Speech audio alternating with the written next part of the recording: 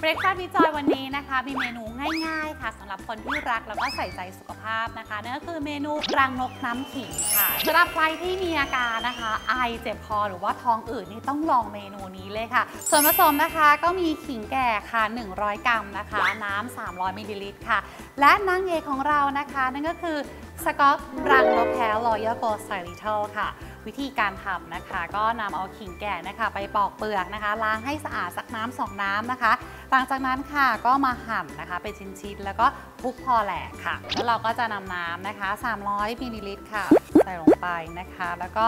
น้ำขิงที่เราบุแล้วค่ะ ใส่ลงไปได้เลย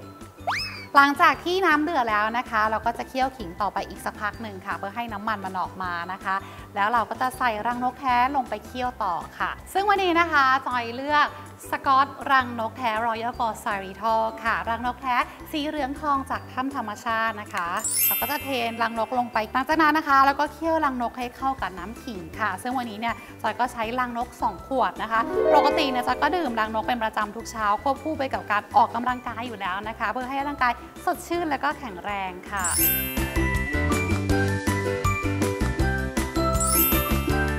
เรียบร้อยแล้วค่ะกับรังนกน้ำขิงนะคะ ใครที่ตื่นมาแล้วรู้สึกว่าไม่สดชื่นก็ลองสูตรนี้ดูได้นะคะ